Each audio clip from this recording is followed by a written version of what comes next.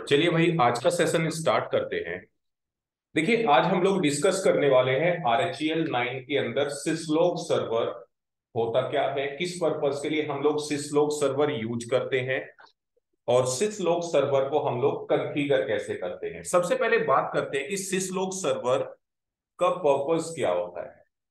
मान लीजिए किसी भी ऑर्गेनाइजेशन का एक नेटवर्क है, जहाँ पर हमने स्विच के द्वारा मल्टीपल सर्वर मशीन कनेक्ट की हुई है। F T P N F S Samba, Apache, PXE और डीएक्सी की सर्वर्स यूज़ कर रहे हैं हम लोग किसी भी नेटवर्क के अंदर। अब देखिए जरा, सबसे पहले अगर हम लोग बात करें, जब भी हम लोग किसी भी सर्वर के अंदर कोई भी एक्टिविटी परफॉर्म करते हैं, जैसे कि अगर हम लोग अपनी सर्वर मशीन में कुछ भी इंस्टॉल करते हैं रिमूव करते हैं अपडेट करते हैं मॉडिफाई करते हैं या किसी भी टाइप की सेटिंग को चेंज करते हैं या कोई भी एक्टिविटी परफॉर्म करते हैं तो मशीन उस एक्टिविटी को रिकॉर्ड करके अपने अंदर स्टोर कर लेता है।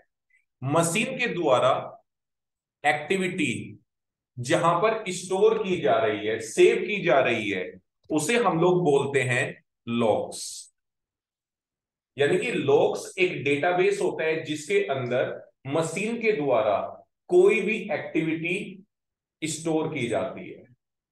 दैट इज़ लॉग्स अब अगर बात करें, यहाँ पर हमारे पास में बहुत सारे सर्वर्स अवेलेबल हैं। इन सभी सर्वर पर जो भी एक्टिविटी की जा रही है, कुछ भी इंस्टॉल किया जा रहा है रिमूव किया जा रहा है अपडेट किया जा रहा है मॉडिफाई किया जा रहा है, या किसी भी टाइप की सेटिंग को चेंज किया जा रहा है तो वो एक्टिविटी इंडिविजुअल सर्वर मशीन पर ही स्टोर की जा रही है लॉग्स के अंदर। अब अगर हमें किसी भी सर्वर मशीन की एक्टिविटी चेक करनी है, कि भाई किस मशीन पर क्या क्या एक्टिविटी की जा रही है, दो तरीके हैं हमारे पास। या तो आप उसी सर्वर पर मैनुअली जाइए और उसकी एक्टिविटी लॉग्स के द्वारा चेक कर लीजिए। भाई, अगर आप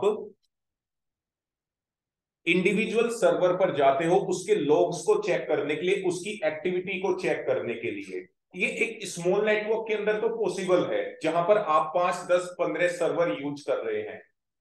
वहाँ पर तो आप इंडिविजुअल सर्वर पर जाकर इंडिविजुअल सर्वर के लॉग्स चेक कर सकते हो एक्टिविटी चेक कर सकते हो।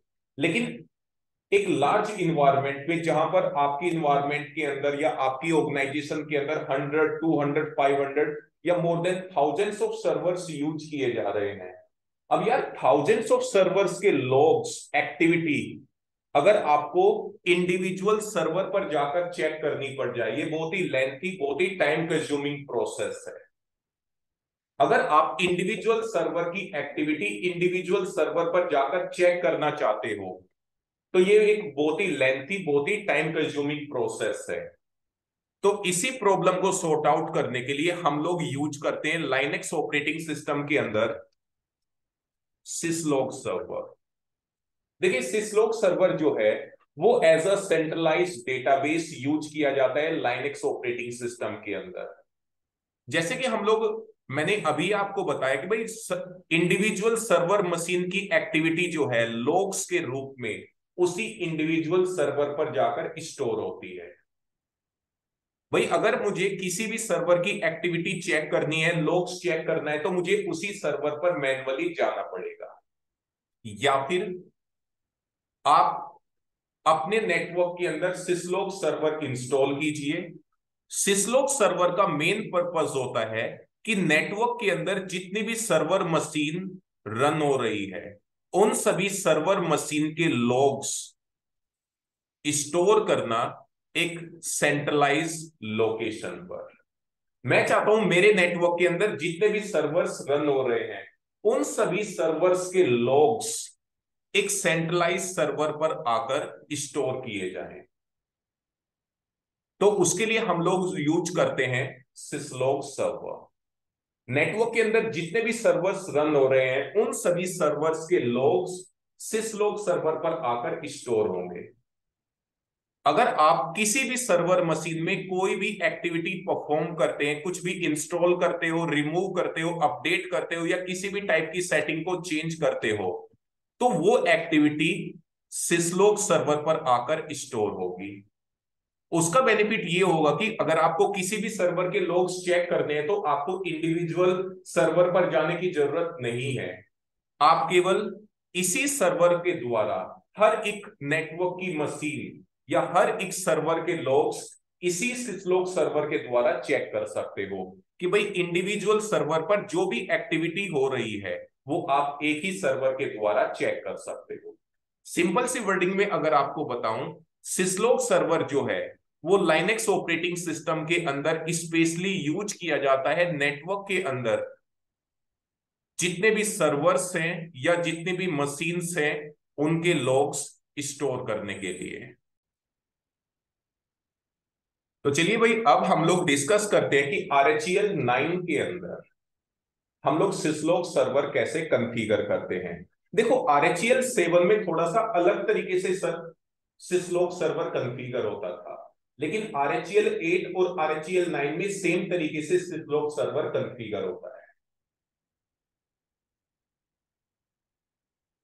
अगर मैं यहाँ पर आपको दिखाऊँ, मैं यहाँ पर दो वर्चुअल मशीन यूज़ कर रहा हूँ। एक है आर सर्वर के नाम से जिसे मैं as a syslog server use करूँगा एक है हमारे पास में आर एच एल क्लाइंट इसे मैं एज अ क्लाइंट यूज़ करूँगा, यानी कि इस क्लाइंट मशीन के जो लॉग्स है, वो मैं इस वाली सर्वर मशीन पर स्टोर करना चाहता हूँ।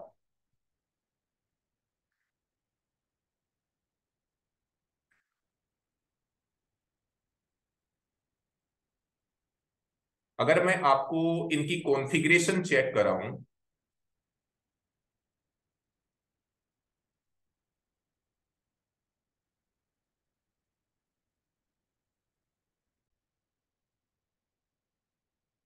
चलिए, ये हमारी मशीन जो है ऑन हो चुकी है। सबसे पहले मैं आपको इस मशीन की कॉन्फ़िगरेशन चेक कराता हूँ।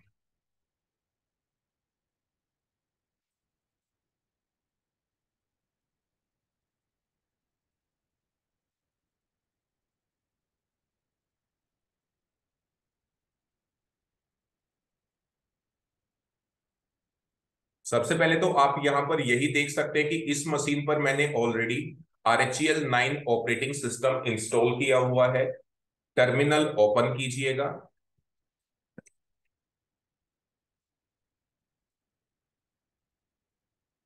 सबसे पहले इस मशीन का होस्ट नेम चेक करो। इस मशीन का होस्ट नेम है local host dot local domain सबसे पहले मैं इस मशीन का होस्ट नेम चेंज करता हूँ, यानी कि कंप्यूटर नेम चेंज करता हूँ। उसके लिए host name CTL set hyphen host name और इस मशीन, एक से system CTL space set hyphen host name space जो भी आप होस्ट नेम डिसाइड करना चाहते हैं। जैसे कि मैं सिस्लोग हाइफन सर्वर अब अगर मैं चेक करूँ, इस मशीन का होस्ट नेम आप यहाँ पर देख सकते हैं। सिस्लोग सर्वर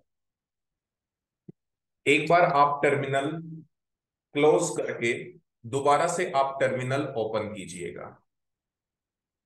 और अब आप यहाँ पर देख भी सकते हैं कि हमारा होस्ट नेम जो है वो अप्लाई हो चुका है। क्लियर है भाई इतना?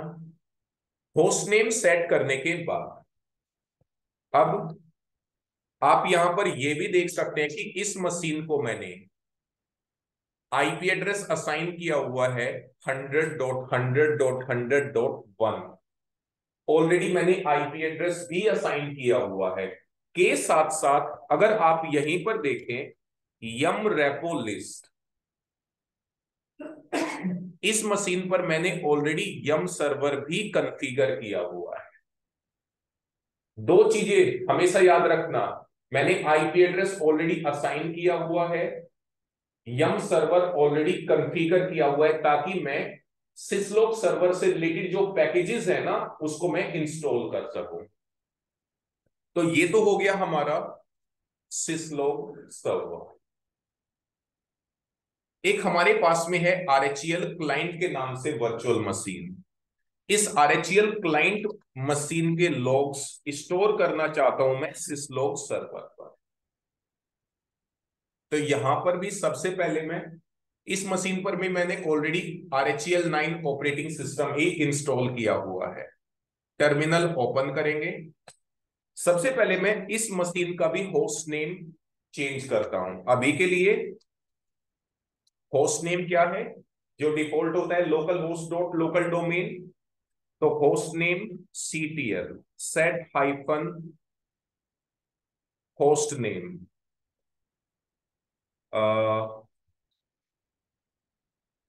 नहीं सिंपल रख लेते हैं क्लाइंट वन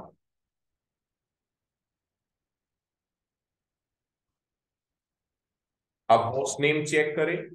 होस्ट नेम इसलिए दिखा रहा हूँ ताकि आप सर्वर मशीन पर चेक कर सको कि हाँ एक्चुअल में उसी क्लाइंट मशीन का ये या उसी सर्वर मशीन का ये लॉग्स है।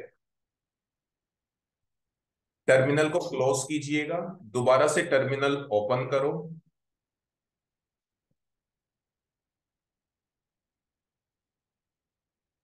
होस्ट नेम अब आप यहाँ पर देख सकते हो। यहाँ से भी आप देख सकते हैं कि हमारी मशीन का होस्ट नेम अप्लाई हो चुका है। अब इस क्लाइंट मशीन को भी मैंने ऑलरेडी आईपी एड्रेस असाइन किया हुआ है हंड्रेड डॉट टू एक बार कनेक्टिविटी चेक करते हैं, क्या ये क्लाइंट मशीन सिस्लोक सर्वर से पिंग कर रहा है? हंड्रेड डॉट वन है ना उस सर्वर का आईपी एड्रेस ये आप यहाँ पर देख सकते हैं मस्त तरीके से पिंग कर रहा है। यानी कि दोनों की कनेक्टिविटी मस्त तरीके से बनी हुई है। मैंने सब कुछ पहले किया हुआ है। अब मैं हर एक प्रैक्टिकल के लिए सारी चीज़ें एक एक करके थोड़ी ना स्टार्ट करूँगा यार। ये सब कुछ मैंने किया हुआ है। ये साथ साथ यम रेपो लिस्ट इस पर भी मैंने यम सर्वर ऑलरेडी इंस्टॉल किया हुआ है। यार, हर एक प्रैक्टिकल के लिए मैं क्या, हर बार आईपी एड्रेस सेट करूँगा? हर एक प्रैक्टिकल के लिए क्या मैं यम सर्वर डेली की कंफिगर करूँगा? पॉसिबल ही नहीं है। सब कुछ रेडीमेड है मेरे पास। क्लियर है इतना? चलते हैं जरा सिस्लोक सर्वर मशीन अब सबसे पहले हम लोग यम सर्वर सिस्लोक सर्वर का पैकेज इंस्टॉल करेंगे। तो उसके लिए yum space install space R syslog R syslog. से रिलेटेड जितने भी पैकेजेस हैं, वो इंस्टॉल कर दिए जाए। टाइप करके एंटर की प्रेस कीजिए। ये देखो जरा, आर सिस्लोक से रिलेटेड बहुत सारे पैकेजेस अवेलेबल हैं और ये कुछ डिपेंडेंसीज है। टोटल कितने पैकेजेस हैं? ट्वेंटी वन कंफर्मेशन पर्पज के लिए आप वाई प्रेस कीजिएगा ताकि आर सिस्लोक से रिलेटेड सभी पैकेजेस इंस्टॉल कर दिए जाए। कमांड नोट डाउन हो गई।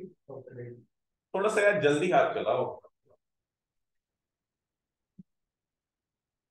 पैकेज इंस्टॉल करने के बाद अब हम लोग सिस्लोक सर्वर की कॉन्फ़िगरेशन फ़ाइल के अंदर चलेंगे।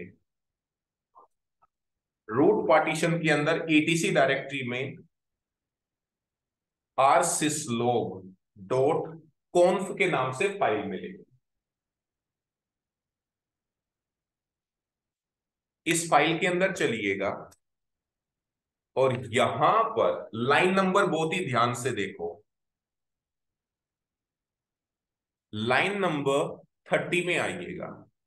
देखो, एक चीज़ ध्यान रखना, कॉन्फ़िगरेशन फ़ाइल की कंडीशन बता रहा हूँ।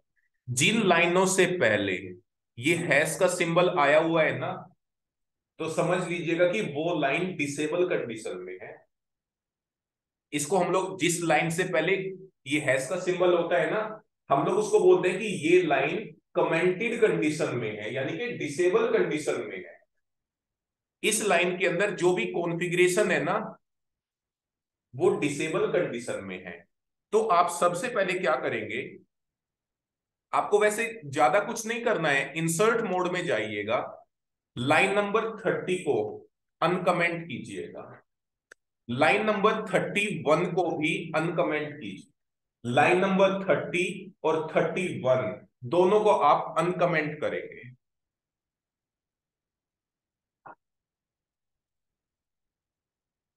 अब एक्चुअल में इन दोनों लाइन में है क्या? यहाँ पर आप देख सकते हैं यूडीपी डिसेबल कंडीशन में था। पहले हमने यूडीपी को इनेबल किया। अब यूडीपी के लिए जो सिस्लोक सर्वर है, वो किस पोर्ट नंबर पे ऑपरेट हो रहा है? 514 पर। इसी तरह भाई यूडीपी के यूडीपी के पोर्ट नंबर 514 जो है वो सिस्लोक सर्वर के लिए रिज़र्व है।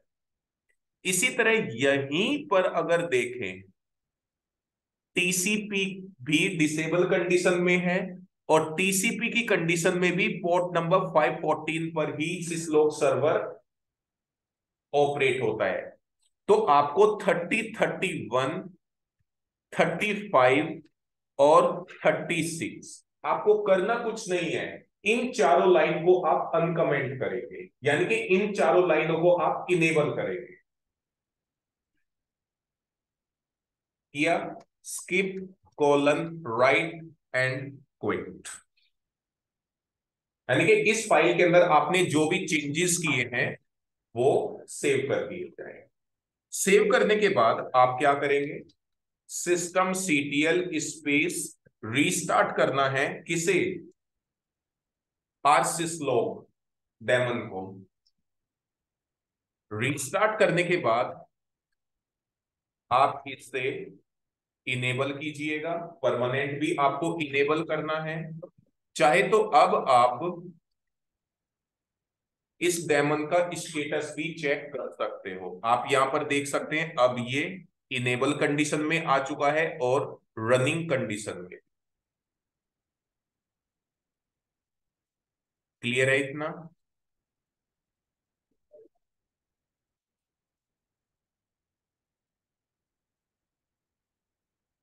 इतना करने के बाद अब हम लोग क्या करेंगे? सिस्लोक सर्वर किस पोर्ट नंबर पे ऑपरेट हो रहा है? यूडीपी और टीसीपी के 514 पोर्ट नंबर पे ऑपरेट हो रहा है। तो अब हम लोग क्या करेंगे? Firewall hyphen CMD space hyphen hyphen permanent hyphen hyphen add port port number 514 इसके लिए? टीसीपी के लिए.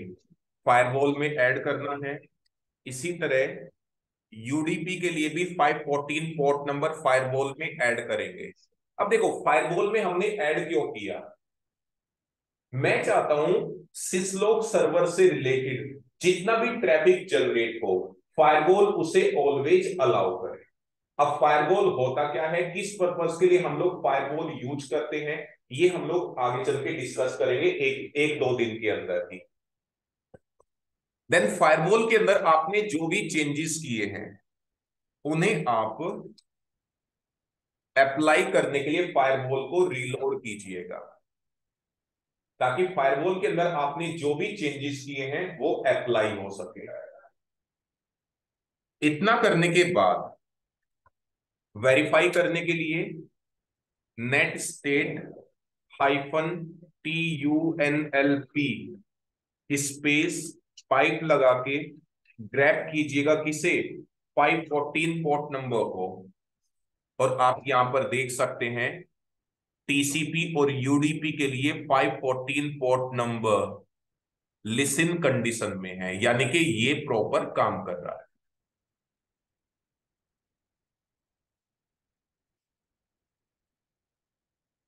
क्लियर है इतना?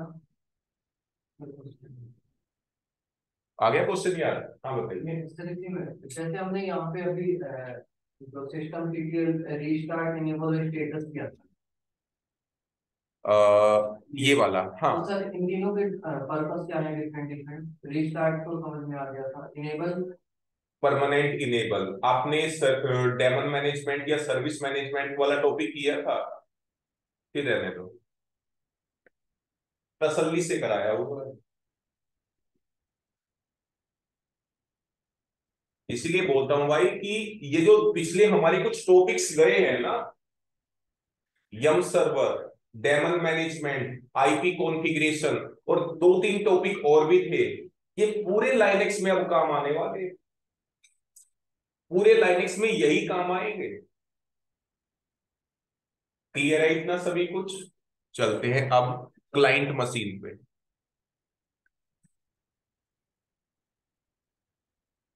यानी कि वो सर्वर मशीन या वो क्लाइंट मशीन जिसके लॉग्स जिसकी एक्टिविटी मैं रिकॉर्ड करना चाहता हूँ सिसलॉग सर्वर पर।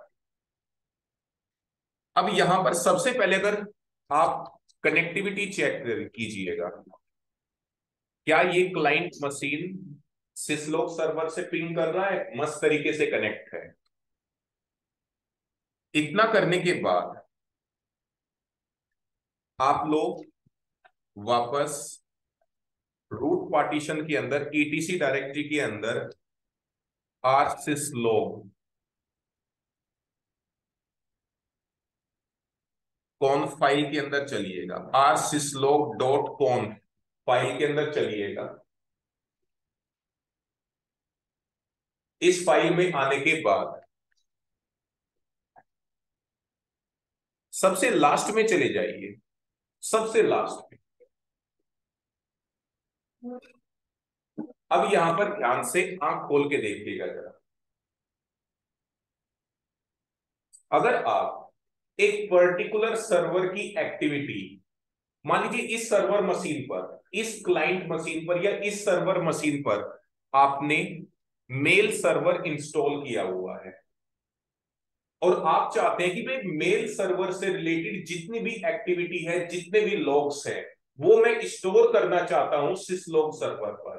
तो mail star mail sorry mail dot star space at the rate syslog server का आईपी एड्रेस तो मेल सर्वर से रिलेटेड जितने भी लॉग्स हैं, वो सभी स्टोर कर दिए जाएँगे सिसलॉग सर्वर पर। या फिर आपने इस सर्वर मशीन पर क्रोन सर्वर इंस्टॉल किया हुआ है। क्रोन सर्वर तो क्रोन डॉट स्टार तो क्रोन सर्वर से रिलेटेड जितने भी लॉग्स हैं, वो स्टोर किए जाएँ हंड्रेड डॉट वन वाली मशीन पर। हंड्रेड डॉट वन ये हमारे सिस्लोक सर्वर का आईपी एड्रेस है। भाई, कहने का मीनिंग ये है कि अगर आप एक पर्टिकुलर सर्वर के लॉग्स स्टोर करना चाहते हैं, अपने सिस्लोक सर्वर पर। इस तरह आप यहाँ पर एंट्री डाल दीजिए।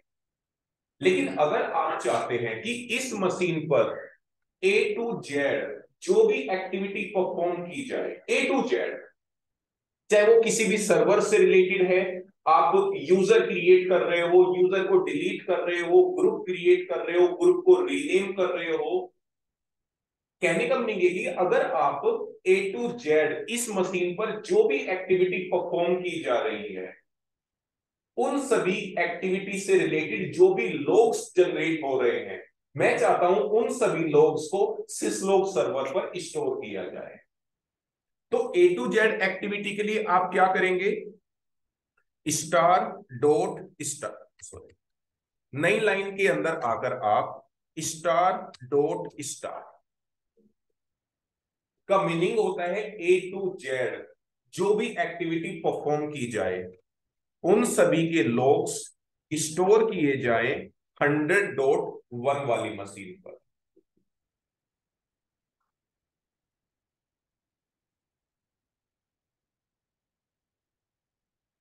क्लियर है इतना? Escape colon write and quit type करके आप एंटर की प्रेस कीजिएगा।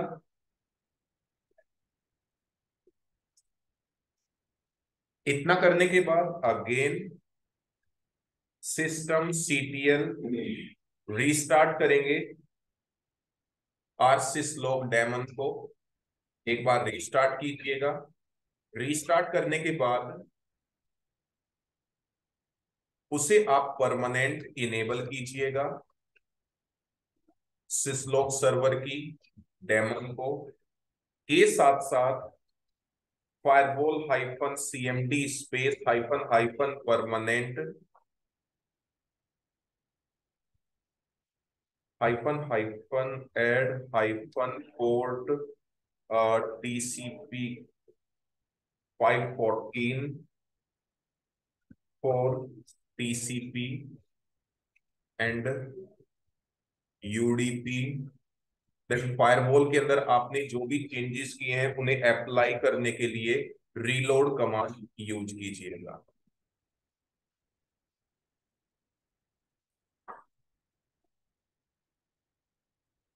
सिस्लोक सर्वर और ये क्लाइंट मशीन हमारी रेडी हो चुकी। अब इस मशीन पर मैं कुछ एक्टिविटी करता हूँ। कुछ एक्टिविटी यानी कि जैसे कि यूज़र एड स्पेस मैं चंपू के नाम से एक यूज़र क्रिएट कर रहा हूँ। क्रिएट हो गया। इसी तरह इस मशीन पर मैं पप्पू के नाम से एक यूज़र क्रिएट करता हूँ। फिर मैं क्या करता हूँ? Pass W D space Champu user का पासवर्ड डिसाइड करता हूँ। पासवर्ड मैच नहीं हुआ, जानबूझ के। फिर से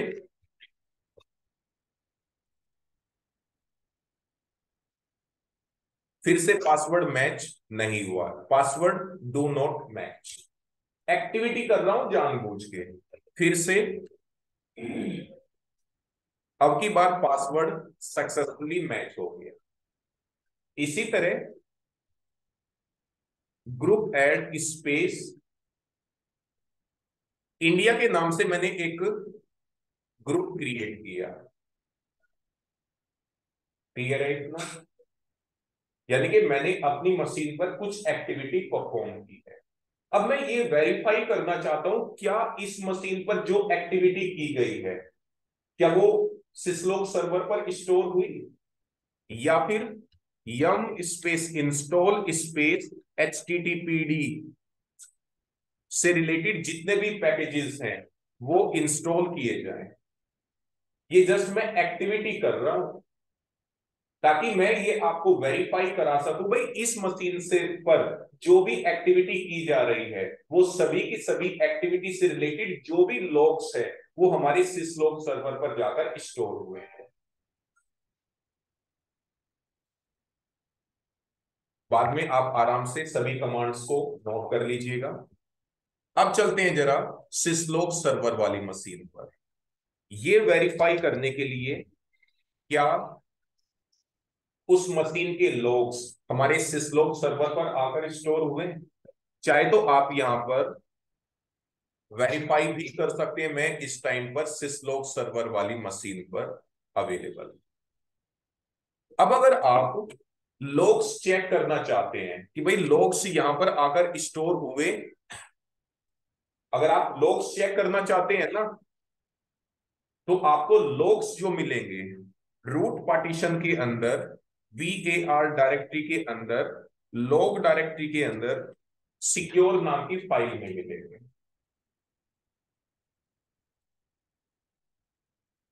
जल्दी कीजिए। हो गया? आगे बढ़े।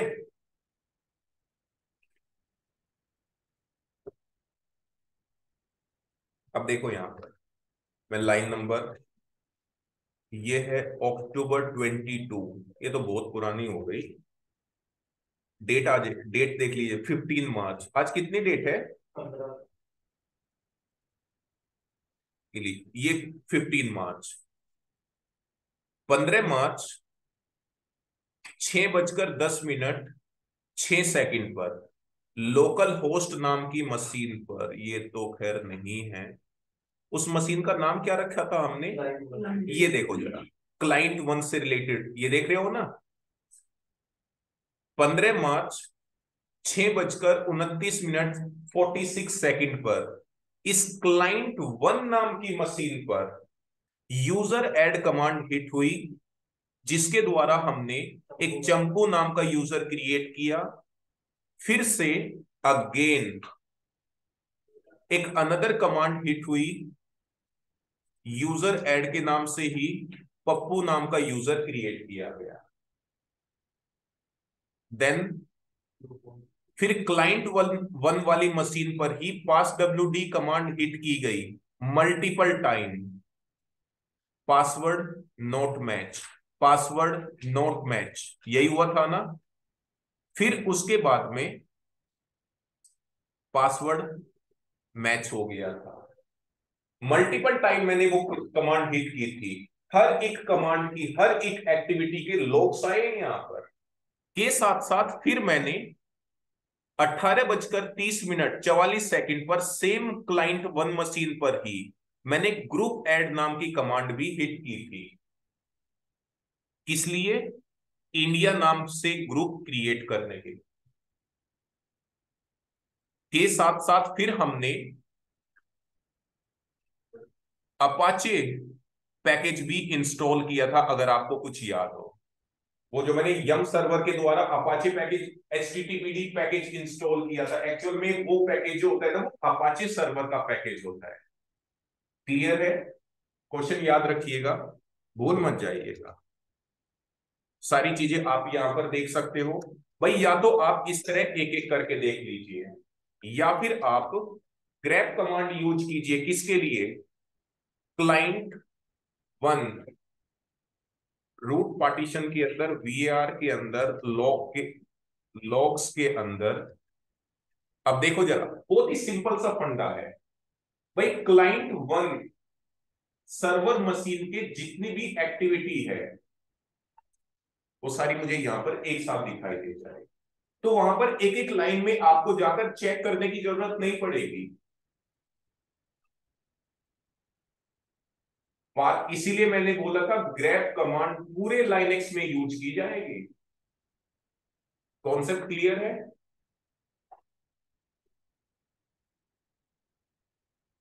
तो ये था हमारा आर एच एल नाइन के अंदर हम लोग सिस लोग सर्वर कैसे इंस्टॉल करते हैं और कन्फिगर करते हैं।